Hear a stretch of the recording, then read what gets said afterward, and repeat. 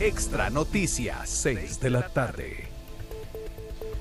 Muy buenas tardes, bienvenidos a esta edición de Extra Noticias. Gracias por su compañía. También agradecemos a quienes a partir de este momento nos sintonizan por los 92.3 FM de Extra Radio. Vamos a conocer nuestros titulares. Empresa adjudicada para la construcción del hospital de Cartago da un paso atrás, aduce incertidumbre económica y política para no participar. En menos de un mes, casos de dengue aumentaron en un 20%. Autoridades actualizan el protocolo de atención en los centros de salud públicos y privados. Detienen a extranjero que se sospecha formaba parte de una célula terrorista. En los últimos cinco años, la policía detuvo a ocho sospechosos de terrorismo. Mujer que se casó con colombiano que figuraba como cabecilla de banda narco habría desestimado la demanda por matrimonio fraudulento. Fiscalía analiza el caso. Vecinos de Playa Caldera se preparan para posibles inundaciones ante la marea más alta del año. Medio millón de trabajadores independientes mantienen deudas con la caja. Hoy se presentó un proyecto de ley que propone condonar estas deudas.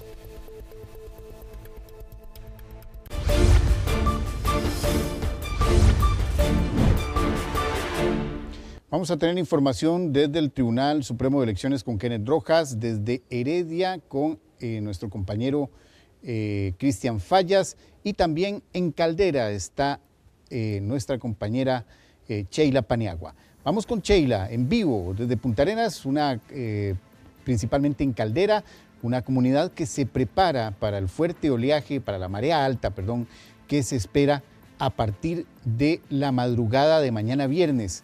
Sheila con los detalles. Bueno, y como usted lo indica, nos encontramos en Caldera, Punta Arenas, para llevarles toda la información sobre la marea alta que anunció el Miosimar para los próximos días. Mareas altas que podrían superar hasta los 3 metros de altura en el Pacífico. Los vecinos de los alrededores de Caldera se preparan ante posibles inundaciones, ya que el año anterior, debido a la marea alta, el mar llegó hasta sus hogares, provocando que estas personas hayan sido evacuadas producto de este, del mar que, se, que llegó hasta estos hogares. Veamos la siguiente información. Tras el anuncio de Miosimar sobre las posibles inundaciones en el Pacífico debido a la marea alta, los vecinos de Playa Caldera se preparan para un posible incidente. Nosotros cuando ya los avisan, entonces ya comenzamos a, levantar los chunches, a subirlos, a echarlos para prepararlos ahí, pues, que no los agarre prevenidos. ¿ah? Y entonces ahí los, tenemos guardados chunquitos, porque me pasa los agarró así, previsto. Subir todo lo que se pueda, hasta uno pueda ya no, ya no se puede más ya. Y, esa marea lo lleva aquí por lado atrás, porque es la otra el manglar. Hace un año, doña Mercedes tuvo que ser evacuada debido a que su vivienda quedó completamente inundada. Un pronto a otro vino la marea y quedamos todos arriba, atrapados arriba todos, los que estaban conmigo y mis hijos y todos. Y entonces tuvieron que venir los bomberos a sacarlos. Al sábado los sacaron para afuera y dormíamos allá afuera. Ahí hicimos un, campito ahí con con cobijas y todo, ahí dormíamos afuera. Debido a esto, optó por construir su casa en alto para evitar incidentes. Cuando fue que se llenó todo abajo, entonces ya, empezaron mis hijos a, recoger madera, a traer madera y los otros me regalaron hasta Yupala, me trajeron madera para que yo hiciera el piso arriba y me trajeron el zinc, un señor que viene ahí, que es panadero, también me trajo así de allá de donde él vive, de Miramar y todo eso. Según indicó doña Mercedes, el comportamiento del mar es tranquilo, sin embargo podría cambiar de un pronto a otro. Por su parte, don José monitorea la marea por medio de una aplicación. Yo lo hago por una aplicación que tengo aquí.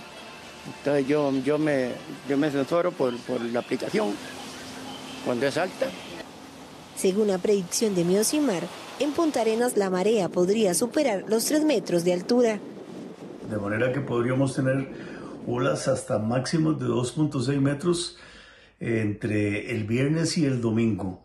De manera que hay eh, precaución para la navegación de embarcaciones pequeñas básicamente. De nuevo hay que aclarar que estos sistemas de baja presión eh, cambian mucho con los días, de manera que eh, podría desaparecer esta, esta condición, pero también podría intensificarse. Así que hay que darle seguimiento. Los vecinos indican que en septiembre y octubre es cuando se dan las mareas más altas en Punta Arenas.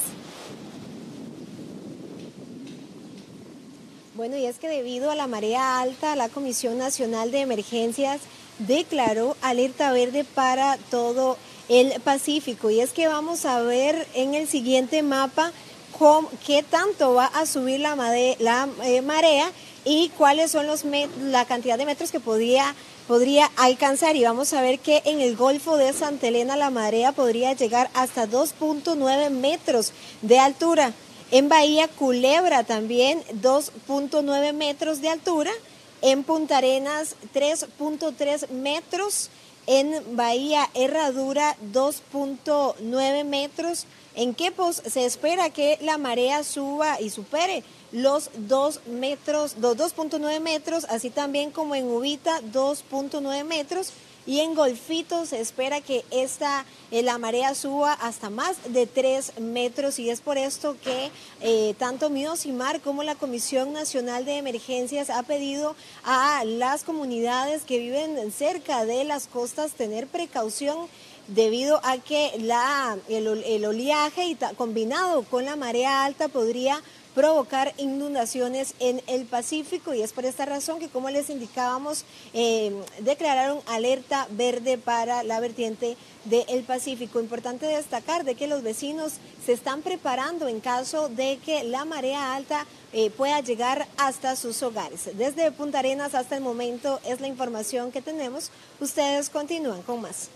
Gracias a nuestra compañera, Sheila Paniagua. Como estábamos escuchando, llueve con fuerza en Punta Arenas y esto todavía aumenta las probabilidades de inundaciones en algunas partes también de la ciudad puntarenense. Vamos con un tema que tiene que ver también con el tiempo, porque por segunda vez en el año todo el istmo centroamericano se verá afectado por el llamado, llamado giro ciclónico centroamericano, que traerá, por supuesto, más lluvias. A partir de este cierre de mes de septiembre, las lluvias estarían aumentando en nuestro país y en sí en toda la región centroamericana, esto debido al llamado giro ciclónico centroamericano. Este fenómeno no es nuevo, sin embargo podría llegar a ocasionar, según el Centro Nacional de Huracanes, así como el IMN, que llevarían a inundaciones en el Pacífico del país, y también en el norte de Nicaragua. El giro centroamericano es básicamente una gran circulación ciclónica, es decir, una circulación en dirección opuesta a la manecilla del reloj que se forma en niveles bajos y medios de la atmósfera sobre Centroamérica. Son sistemas muy amplios que incluso pueden afectar al mismo tiempo a varios países de la región. En el caso de Costa Rica, este tipo de sistemas lo que suelen producir es, un, es inducir un flujo de humedad desde el oeste muy constante, muy persistente a nuestro país, lo que puede provocar, por ejemplo, que se presenten temporales, fuertes aguaceros sobre nuestro territorio.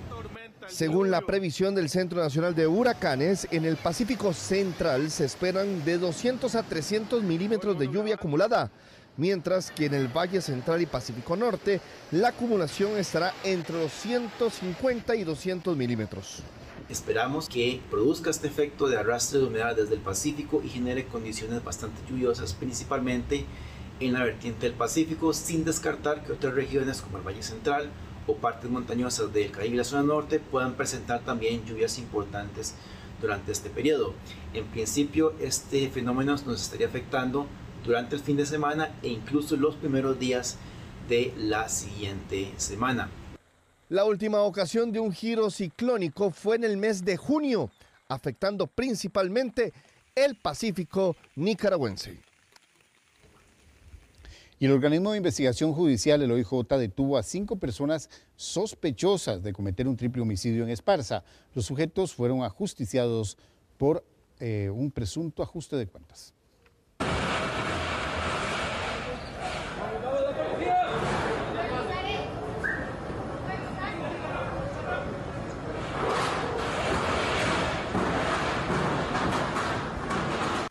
De esta manera, el organismo de investigación judicial detuvo a los sospechosos del triple homicidio que ocurrió el pasado 11 de julio en un búnker en Esparsol y del asesinato de un sujeto que hallaron en un río en Barranca a inicios de agosto.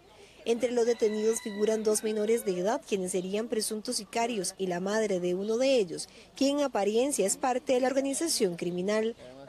Se está intentando imputar en este caso a seis personas, de las cuales una ya está en prisión preventiva, mientras que las otras cinco personas pues responden a dos eh, menores de edad, mismos que fungirían en apariencia como parte de la organización como gatilleros. Aparte de esto también se está este, deteniendo o intentando detener a la mamá de uno de estos sujetos, quien en apariencia pues facilitaba este, la, comisión de los delitos y también se está deteniendo a una mujer de 18 años de edad, quien también presuntivamente pues facilitó algún tipo de logística para poder cometer los ilícitos. Finalmente se está deteniendo a un sujeto masculino de 23 años de edad, quien también figura aparentemente como parte de la organización criminal.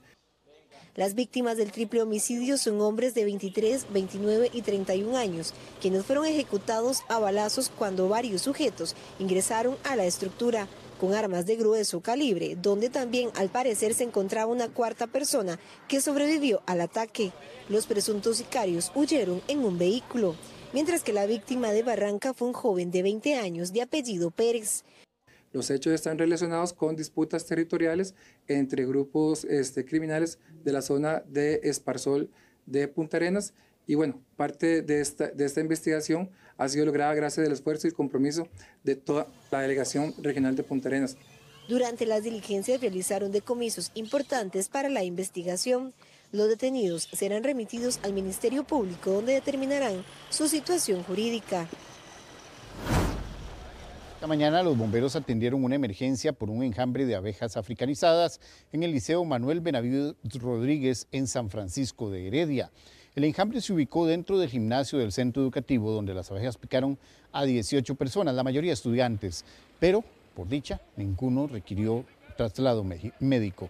Para la emergencia los bomberos trasladaron seis bomberos que trabajaron en aislar el enjambre y evitar así que picaran a más estudiantes y al personal de este centro educativo. Afortunadamente la situación no pasó más de un susto para algunos alumnos, personal académico y administrativo. Las clases siguieron con normalidad una vez que se retiraron los bomberos. Realmente es lo que se llama la abeja africanizada, que son las abejas que producen miel. Eh, ellas al sentirse amenaza o, ser agitado el ambiente donde ellas se encuentran, pues van a proceder a atacar. Eh, en ese momento unos muchachos se encontraban tomando merienda ahí en la zona de las canchas donde ubicamos el, enjambre en un marco de baloncesto. Este, y ahí quizás hubo algún movimiento brusco, tal vez golpearon el enjambre, la colmena y procedieron a hacer el ataque. El hospital de Cartago sufrió hoy un nuevo revés. A pesar de que ya estaba adjudicado para su construcción, la empresa mexicana a cargo se retiró mediante una nota enviada a la Junta Directiva de la Caja Costarricense del Seguro Social. Necesitamos un nuevo hospital, necesitamos mejores instalaciones y mejores servicios, eh, entonces eh, no importa, no importa cuándo se haga el hospital, pero que se haga. Está bien mal, porque la verdad que se está necesitando. La verdad que esto, este hospital, al menos como está aquí ahorita, más Peralta, está terrible, terrible. Le digo porque este, aquí se necesita, se necesita. Aquí se ven casos de casos, ustedes porque están aquí afuera, pero me gustaría que ustedes entren adentro y hagan la evaluación adentro para que vean lo que la gente les va a decir. Eso es un pecado. Aquí la gente sale más peor de cómo entra, enfermos, delirando. es preocupante, ¿ya? porque aquí la ciudadanía de Cartago este, se, se amerita un nuevo hospital. ¿ah? Lo peor para los ciudadanos cartagineses es que por el momento deberán de seguir esperando por ese nuevo hospital y seguir ingresando por estas puertas del Max Peralta para recibir atención médica. En consecuencia, en este acto se deja constancia fehaciente de la intención de promotora y desarrolladora mexicana de infraestructura SADCB de ejercer su derecho de dejar sin efecto su oferta con justa causa y, por tanto, requerirle a esa administración la terminación anticipada por mutuo acuerdo, suscribiéndose el correspondiente finiquito en beneficio de los intereses de las partes y así evitar reclamaciones futuras. Para tener un nuevo hospital en Cartago, los cartagineses tendrán que seguir esperando. La Junta Directiva de la Caja Costarricense del Seguro Social anunció este jueves que la empresa promotora y desarrolladora mexicana SADV se retiró de la licitación que había ganado para la construcción del nuevo centro médico Brumoso. 5. Asimismo, tan pronto se presentaron las ofertas, se han esgrimido criterios encontrados entre el Ministerio de Salud y la Caja que han puesto en entredicho el proyecto. Así, por ejemplo, el MSDM 27, 18, 20, 24, 21 de mayo del año en curso, el Ministerio de Salud concluye que el lugar no es apto para la construcción de un hospital seguro. Más aún, se han publicado muchas notas de prensa que plasman declaraciones de las distintas autoridades competentes que muestran claras desavenencias entre instituciones del Estado costarricense. La incertidumbre derivada del clima político en torno al proyecto y la falta de certidumbre respecto a la posibilidad de ejecutar el mismo conforme a lo originalmente previsto constituye un verdadero caso fortuito acto del príncipe, que se traduce en una causa justificada para dejar sin efecto nuestra propuesta y una eximente de responsabilidad para promotora y desarrolladora mexicana de infraestructura SADCB. En Cartago, la decepción es mucha y el eco de las voces que solicitan un nuevo hospital van desde los diputados en la Asamblea Legislativa hasta las personas usuarias del hospital. ¿Está recibiendo esta empresa presiones por parte del Ejecutivo más allá de las presiones técnicas que ya habían sido subsanadas? ¿Está recibiendo presiones políticas que hacen y obligan a la empresa a echar marcha atrás? Creemos que sí. ha sido incapacidad de la caja de resolver el tema desde hace años. Este es un tema que la, la caja generó los cartagineses no tienen nada que ver en qué terreno se escogió, en qué empresa se escogió, en qué se ha hecho, qué no se ha hecho. Los cartagineses son usuarios que como cualquier usuario espera que la institución encargada de velar por su servicio de salud cumpla. Entonces, sea la administración anterior, la tras anterior, la que sea, eh, es la misma caja costarricense de Seguro Social y es la misma caja costarricense de Seguro Social la que tiene que dar una solución en un plazo corto. Este, casi, casi que le digo que es el primordial que está urgiendo que se haga otro hospital para, para, para provecho de todos los, los que necesitamos de, de, de hechos. Mientras tanto, los cartagineses que circulen y pasen por este lugar seguirán viendo este terreno así, lleno de zacate, monte, y seguirán también observando una malla perimetral, el símbolo de una larga espera. Bueno, y vamos a otros temas, pero que tienen que ver con la salud, porque el país estaría eh, atravesando una epidemia o la peor epidemia mundial de dengue se estaría registrando, por lo menos así lo catalogan los expertos. La situación en nuestro país es esta. En menos de un mes, la cantidad de casos aumentó en un 20%, registrando más de 25 mil casos en lo que llevamos de este año. Eliminemos los criaderos del mosquito, limpiemos nuestros hogares de aguas estancadas en recipientes, floreros, caños y en cualquier objeto que pueda acumular agua. ¿Sabía usted que un huevo puede ser depositado y un año después, con solo que le caiga un poquito de agua, puede resurgir esas larvas? Así que todos a cuidarnos y eliminar completamente los criaderos. Es importante saber que la fumigación no es suficiente para ganarle la carrera al dengue. Aún no ha finalizado el mes de septiembre y el Ministerio de Salud reporta un incremento del 20% de casos de dengue en todo el país. Alajuela, San José y Punta Arenas son las provincias que más casos registran. Por esta razón fue presentado el protocolo de atención y manejo de dengue, que va a permitir la disminución del riesgo de presentar casos graves y el fallecimiento en el país. Este protocolo tiene cuatro pasos fundamentales, el cual inicia con el examen físico y exámenes de laboratorio, sigue con la sospecha diagnosticada cuando se clasifica la gravedad, un tercer paso que es el tratamiento según el grupo de intervención y finalmente la notificación de la enfermedad a vigilancia epidemiológica esto es obligatorio sabérselo a nivel del país, ¿verdad? Y ahí es donde estamos haciendo un traslado posteriormente de esto, de un oficio, tanto a la entidad prestadora mayor que tenemos en el país, que es la Caja Costarricense de Seguro Social, como también a la Cámara de la Salud, a todos los prestadores privados, a las aseguradoras y todos los que tengan que ver con prestación de servicios directos para las personas. La inusual expansión de esta enfermedad reporta más de 11 millones de casos en toda Latinoamérica y actualmente el ente rector en Costa Rica analiza 13 casos de personas fallecidas para determinar si fueron por dengue o con dengue. Y eso es cambio climático. Pero el cambio climático tiene también un, fenómeno especial eh, que directamente afecta no solamente por las lluvias, sino también cuando hay sequías. Cuando hay sequías, entonces la gente acumula el agua en tanques. Hemos visto, acumula el agua en tanques y esos tanques se vuelven criaderos. En este momento tenemos cuatro serotipos circulando. Y al tener cuatro serotipos que nunca lo habíamos tenido, nunca, de, tenemos más posibilidades de tener dengue grave.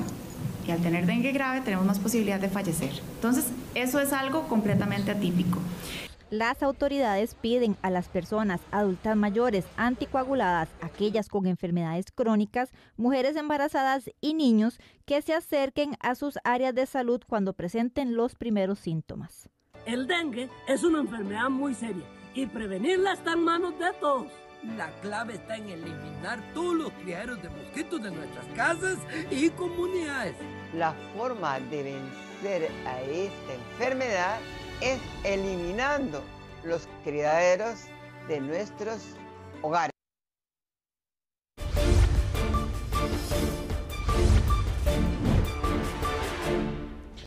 Vamos a ir con Cristian Fallas, él está en este momento en el sector de Heredia, porque desde el 2019 y ya hasta este año ya se han detenido a ocho extranjeros ligados con terrorismo.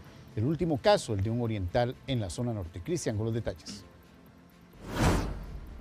Buenas tardes, Paul. Qué gusto saludar a los estimados televidentes. Efectivamente, estamos acá en el centro de aprendidos de la Policía Profesional de Migración y Extranjería, acá en los lagos de Heredia, donde normalmente se traen a estos extranjeros, no importa la nacionalidad o por qué circunstancias son detenidos en suelo nacional. En este caso en particular nos ocupa porque una vez más se repite la historia donde estos extranjeros ligados a células terroristas, tanto de ISIS como de Al Qaeda, aprovechan estas migraciones masivas para mezclarse y efectivamente pasar o llegar hasta suelo nacional, una situación que se ha estado repitiendo, pero que, Paul, gracias a las alertas internacionales, a los sistemas más modernos y también, obviamente, a la capacitación de nuestros agentes de la migración y extranjería, es importante para detectar a estas personas y que sean expulsadas del territorio nacional.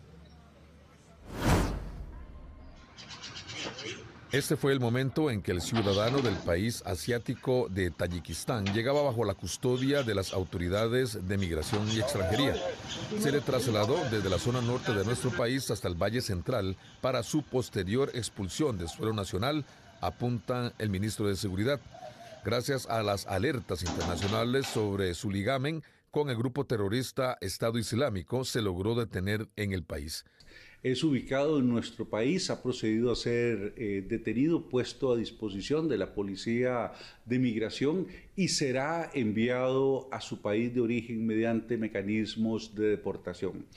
Este hecho se suma al esfuerzo que durante el 2023 hizo también la Policía de Migración deteniendo a dos sujetos de origen somalí y a un ciudadano egipcio relacionado con Al Qaeda.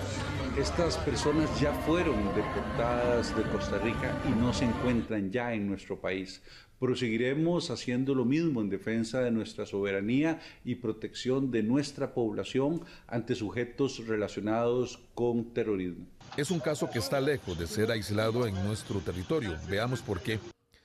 De acuerdo a las autoridades, entre el año 2019 y a la fecha se detuvo en Costa Rica a ocho extranjeros ligados a grupos extremistas, entre ISIS y Al Qaeda, procedentes de Egipto, de Somalia, de Irak y ahora este último de Tayikistán, un país que se ubica en Asia Central.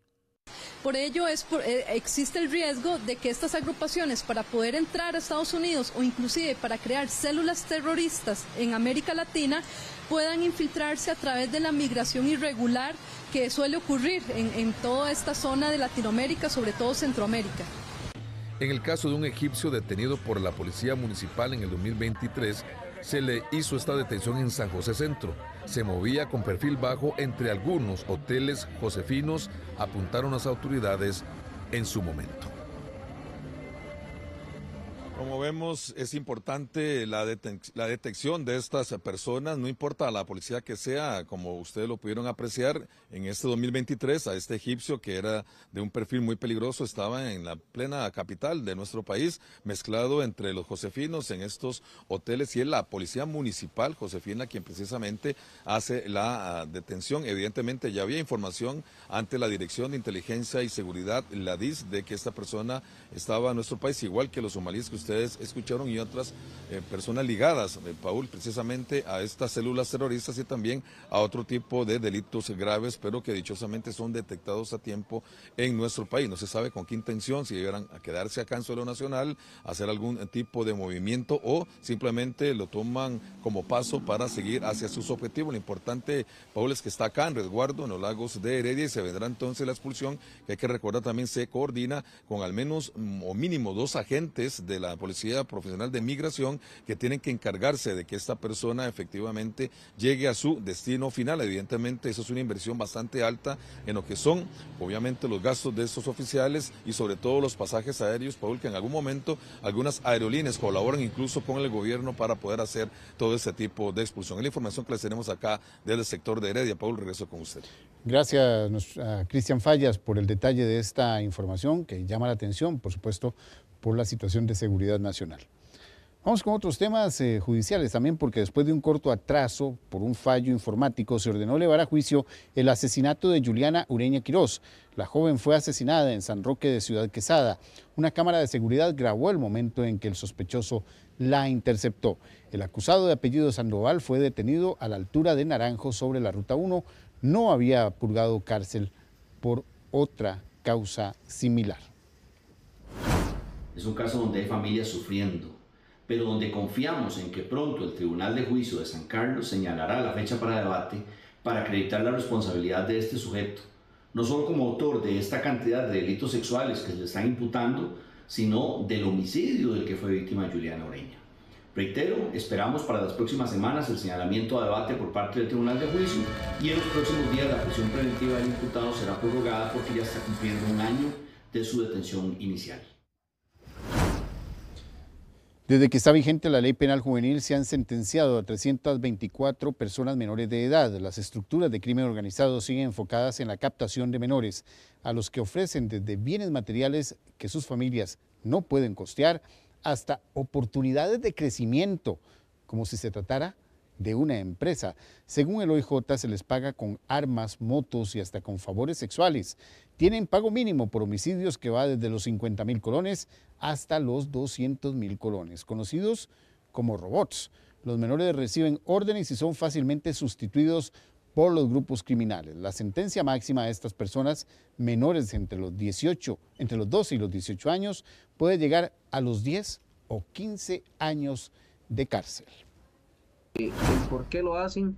Hoy en día eh, muchos de los jóvenes tienen un sentido de eh, pertenencia eh, para un grupo criminal o un grupo X, ¿verdad? De, adolescentes para sentirse respaldado por em, algunas personas, por sentirse parte de algo, por buscar una identidad.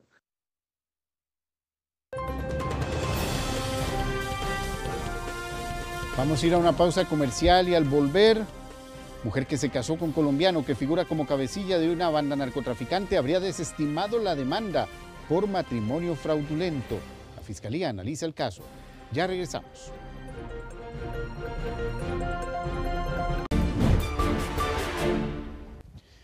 Gracias por continuar con Extra Noticias. Bueno, nosotros hemos dado, estado dando cobertura a este caso de la operación Shark y sobre todo a un aspecto que nos ha llamado poderosamente la atención y es la naturalización del principal cabecilla de esta banda. Bueno, ¿por qué la fiscalía desestimó la denuncia de la mujer que dijo que nunca se casó con el colombiano investigado por narcotráfico y, y cuyo supuesto matrimonio le permitió obtener esa nacionalidad costarricense, esa tan anhelada y buscada nacionalidad costarricense? Bueno, Kenneth Rojas nos tiene las respuestas. Kenneth. Buenas tardes. Exactamente hace dos días estábamos en este mismo lugar aquí en el Tribunal Supremo de Elecciones donde dábamos cuenta de cómo se habían dado las circunstancias de ese aparente matrimonio que le permitió a este hombre colombiano de apellidos Meléndez León, de 55 años de edad, quien hoy figura como investigado eh, y que aparentemente lidera una banda narco en nuestro país y que ese matrimonio en apariencia por conveniencia le habría permitido, como bien lo indicaba don Paul, obtener la nacionalización. Esa mujer con la que supuestamente se casó vino aquí específicamente el 20 de mayo del 2010, cuatro años y un par de meses después de ese supuesto matrimonio, para decir que ella ni siquiera, recordemos, todo lo que había dicho, no conocía a ese hombre y que nunca había firmado ningún documento eh, o ningún acta matrimonial, ni mucho menos participado de ningún acto notarial para eh, casarse. Informábamos que la Fiscalía remitió, recibió más bien por parte del registro civil esa denuncia, pero que se había desestimado. Ya tenemos exactamente la respuesta, el motivo del por qué el Ministerio Público desestimó esa denuncia e incluso archivó el expediente desde 2010. Y con esa decisión, eso hizo que el registro civil no tuviera más opción que seguir con el trámite y darle la naturalización a este hombre. ¿Qué dijo ante la fiscalía esta mujer de 49 años de apellidos eh, López, vecina de Purral de Goicoechea? Veamos el detalle en la siguiente información. Cuatro años después de que supuestamente se casara con el colombiano detenido este martes como sospechoso de liderar una banda narco, la costarricense denunció en el registro civil que el matrimonio era ilegítimo. El 20 de mayo de 2010 presentó una declaración jurada y pedía que se anulara esa unión matrimonial que permitió al extranjero naturalizarse. En esa ocasión dijo que ni siquiera conocía a su aparente esposo y que nunca firmó un documento ni participó de una boda civil. Por eso, el registro civil presentó una denuncia ante la Fiscalía para determinar si debía anular ese matrimonio y con eso revocar la naturalización al hombre, identificado como Alexi Meléndez León pero la fiscalía archivó el caso, lo que dio pie a que el extranjero recibiera la credencial como tico. La duda que surgía era por qué el Ministerio Público desestimó el caso y archivó el expediente. Y hoy Extra Noticias tiene la respuesta a esa pregunta, según informó la oficina de prensa de esa entidad, en la que aclararon qué fue lo que ocurrió. Por correo electrónico nos respondieron lo siguiente. La persona denunciante presentó un documento en junio del 2010 en el cual indicó que no tenía interés en continuar con el trámite de la causa. Ante la falta de participación de dicha parte, la Fiscalía solicitó una desestimación el 16 de junio del 2010 ante el Juzgado Penal de San José. Es decir, a tan solo días de denunciar que nunca se había casado con el extranjero, la mujer extrañamente cambió de opinión y por alguna razón optó por no seguir con la investigación. Fue así como la solicitud de nulidad del matrimonio quedó en nada. Esa solicitud fue una de las muchas que el registro civil remite, ya sea a la Fiscalía o a la Procuraduría General de la República, ante la petición del denunciante de disolver la unión matrimonial ante alguna supuesta irregularidad. En los últimos 10 años, la entidad tramitó y presentó 1.506 denuncias, la mayoría por aparentes casos de matrimonios por conveniencia que dan pie a que un extranjero se naturalice como costarricense. Eso da un promedio de una denuncia de ese tipo por parte del registro civil cada dos días. Personas que utilizan esta figura del matrimonio para eh, obtener una naturalización como lo piensa la gente más fácil, casándose y eh, este, teniendo más de dos años de matrimonio con una persona costarricense para poder ya obtener la nacionalidad, porque por residencia son cinco años. Incluso con el proceso de residencia, el tiempo mínimo de vivir en el país pasa a siete años para los extranjeros que no provienen de países centroamericanos o iberoamericanos y que no sean españoles por nacimiento. No tenemos herramientas jurídicas y no tenemos herramientas eh, prácticas que nos permitan hacer una tercera fiscalización, por así decirlo, o un filtro más dentro de todo este engranaje que permita, por poner un ejemplo, realizar una entrevista previa obligatoria donde los contrayentes tengan que demostrarle a ese notario, a ese sacerdote o a ese funcionario que tienen una convivencia previa, que tienen una relación sentimental y que producto de esa relación sentimental eh, desean contraer matrimonio. Según datos del registro civil, los extranjeros que más piden naturalizarse en nuestro país mediante el proceso de matrimonio son ciudadanos de Colombia, China y Cuba. Extra Noticias pidió una entrevista con algún vocero de la Fiscalía para tener más detalles de ese expediente. Sin embargo, la respuesta que tuvimos es que al estar archivado ya desde el 2010, esa era la única información, la que recibimos por correo electrónico sería únicamente la respuesta que podíamos tener por parte del Ministerio Público. Y sin duda alguna, don Paul, que es preocupante, más de 1.500 denuncias en 10 años. Deja un promedio, como lo veíamos, de una denuncia cada dos días por parte de personas que vienen aquí al registro civil, ente adscrito al Tribunal Supremo de Elecciones, para alegar que desconocen la existencia o la legitimidad de ese matrimonio en el que aparecen y en algunos casos, como los, nos lo comentaba también la oficial mayor del Tribunal Supremo de Elecciones, las personas se percatan cuando vienen aquí a hacer algún trámite o incluso cuando en el proceso de confirmación o de seguimiento por parte del registro civil que se llama a las personas involucradas,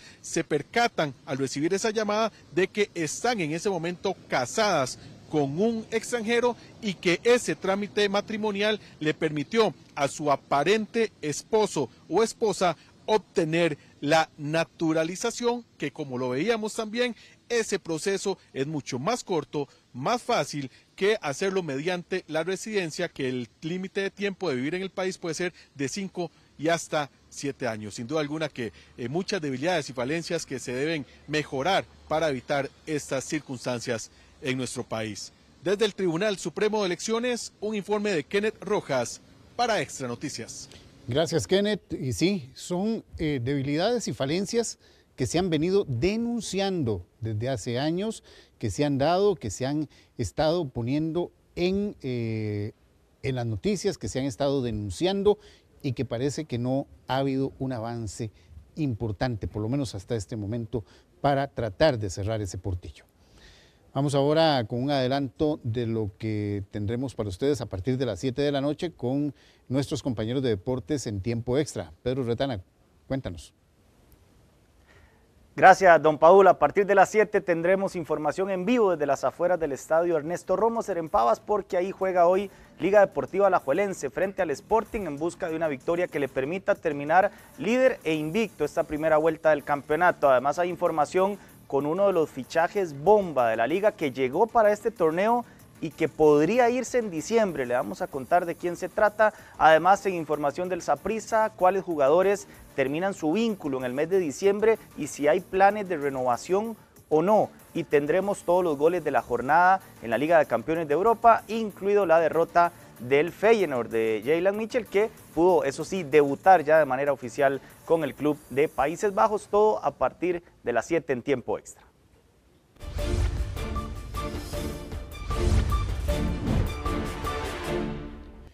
Una madre vecina de San Francisco de Dos Ríos tiene más de un mes de desaparecida y su familia ya teme lo peor. La única comunicación que han tenido son mensajes de números desconocidos que no parecen ser escritos por ella.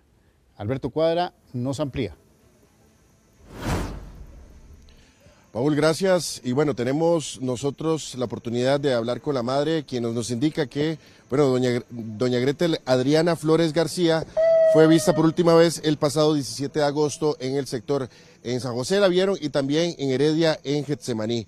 Fue reportada, eso sí, desaparecida hasta el 4 de septiembre. Bueno, esta persona, doña Gretel, es una persona que usualmente pues era bastante, em, podemos decir, eh, bueno, que tenía mucho vínculo con su familia, era una persona bastante responsable, tenía su trabajo, tenía una serie de responsabilidades que no dejaba de lado y es ahí donde inicia la preocupación de su familia, porque empezó a eh, desaparecer lo que serían los mensajes de todos los días, la madre empezó a preocuparse, ingresaron y llegaron también donde ellos vivían, a la vivienda eh, donde anteriormente pues estaba ubicada ella y su esposo y no hay absolutamente nada.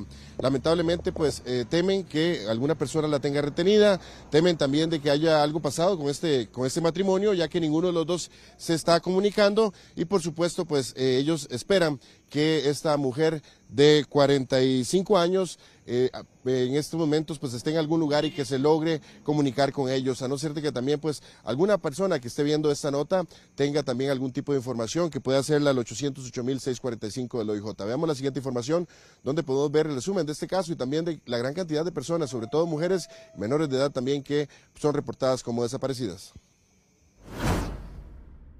Gretel Adriana Flores García, de 45 años, fue vista la última vez en San José exactamente el pasado 18 de agosto. Esta madre oriunda de San Francisco de dos Ríos está casada y es madre de un hijo. Pese a esto, no se ha vuelto a ver y sus familiares tienen rastro de ella desde hace esa fecha. La única forma de comunicarse es mediante mensajes de otros teléfonos que no son de esta persona. Ella me dice, supuestamente ella, que ella me dice, estoy bien, no se preocupe, y yo le pongo a ella, este, le digo, o sea, confiando de que sea ella, le digo, llámeme, o llamo inmediatamente al número y está bloqueado, ya cortado y no contesta. Carmen García, madre de Gretel, está muy preocupada ya que su hija es una mujer muy trabajadora. Teme lo peor o que alguien la retenga contra su voluntad. Siempre eh, ella fue muy amorosa conmigo, siempre ella me, me ponía mensajes de, de buenos días, o de buenas noches, a veces no, no los dos, pero si hoy me ponía buenas noches, mañana me volvía a escribir en la mañana o en la noche. Y siempre me decía que, que yo era eh, su brazo derecho para ella y, y de todo, ¿verdad? Pero de un pronto a otro ella dejó de escribirme y, dejó de, de, decirme esas cosas y, sin saber yo ni, ni por qué, porque no, no tengo como, como decir que, que nos enojamos o algo, ¿no? Cada dos horas se reporta una persona desaparecida en Costa Rica. 786 mujeres se reportaron como desaparecidas en lo que va del 2024. Las amenazas se da mediante este, la utilización de otros medios telefónicos, como por ejemplo el uso de números telefónicos internacionales. Este, estas amenazas inician con, con información que las personas han mostrado. Este, esta información eh, que las personas le, muestran eh, a las víctimas es una posible ubicación eh, del lugar donde, donde se encuentra eh, que conocen los familiares, eh, hay ciertas amenazas de muerte y, y, demás. De acuerdo con las cifras del organismo de investigación judicial, San José es la provincia que registra más desapariciones, con 279 adultos y 314 menores de edad entre hombres y mujeres. Bueno, esperamos que si alguna persona observó las fotografías, si también tiene conocimiento de este caso, se comunique con la familia y también con el organismo de investigación judicial. Muchos, muchas de las desapariciones en realidad se resuelven en tan solo 48 eh, horas, 72 horas, porque también están muy relacionadas con problemas internos en familia, sobre todo en menores de edad que en algún momento pues tienen algún problema con sus padres y abandonan su hogar, pero también hay algunas eh, relaciones también de abuso, también hay algunas relaciones impropias y también lamentablemente algunas que como bueno nos ha dicho la madre de doña Gretel, pues eh, lamentablemente hay antecedentes de agresión y bueno, obviamente en estos momentos ellos están muy preocupados. Así que bueno, si usted tiene algún tipo de información ya sabe cuáles son las vías de comunicación y sobre todo también pues tener en mente que siempre las autoridades del organismo de investigación judicial están esperando todo este tipo de denuncias para iniciar este tipo de, eh, pues, iniciar lo que serían las pesquisas para tratar de localizar a las personas que están desaparecidas. Desde San Francisco de Ríos, este es un informe de Alberto Cuadra para Extra Noticias.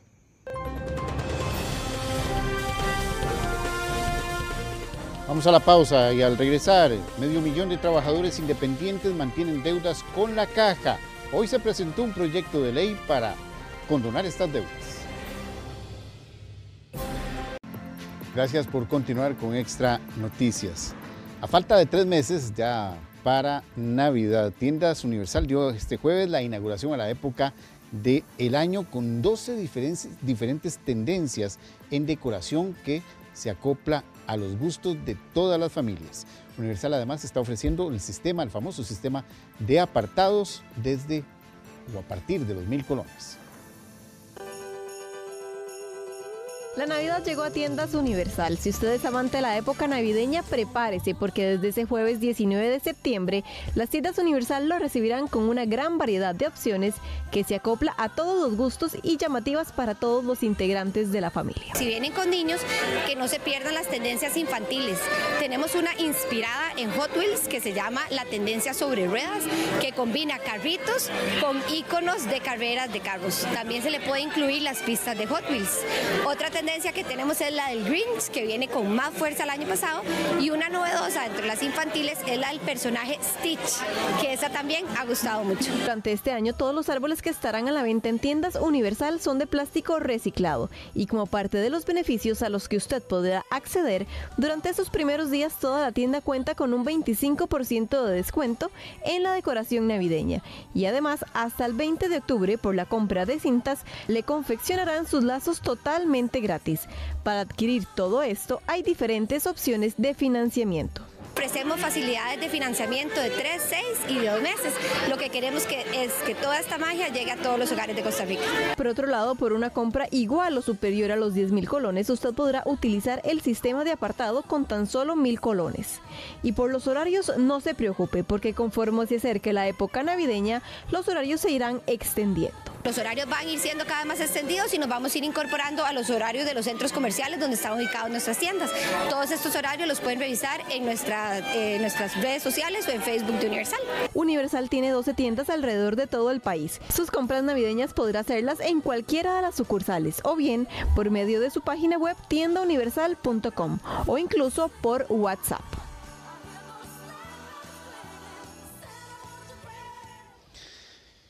Vamos con otras informaciones. Las medio millón de costarricenses, de trabajadores independientes, mantienen deudas con la Caja Costarricense del Seguro Social. Hoy se presentó un proyecto de ley para que propone precisamente condonar esas deudas. Cerca de medio millón de trabajadores independientes mantienen deudas millonarias con la Caja Costarricense de Seguro Social por multas, recargos e intereses en el pago de su seguro. El caso de Roxana Chavarría y su esposo es un ejemplo de esto, pues tienen una deuda de casi 9 millones de colones con la caja que aseguran no han podido condonar con la entidad, pese a que una ley permite este tipo de trámites. Cuando nosotros llegamos a la caja a hacer un arreglo de pago, dice que eso no se han hecho las anulaciones, que nos rechazan todo y no hemos podido hacer el arreglo de pago. Nosotros lo que no queremos es quedar debiendo porque eso nos afecta mucho para el trabajo. En ningún lado se le van a dar un trabajo este, teniendo la deuda y más en la caja, ¿verdad? Según la Asociación de Trabajadores Independientes, este 14 de noviembre vence el plazo otorgado por la caja para esta condonación. Los afectados consideran que este plazo debe ampliarse, pues la institución no ha logrado aplicar con efectividad esta legislación para los trabajadores. Publica que solo 22 mil personas aproximadamente han solicitado la ley de condonación. ¿Por qué es eso? Porque la tramitología de la ley de prescripción no se ha podido poner en práctica.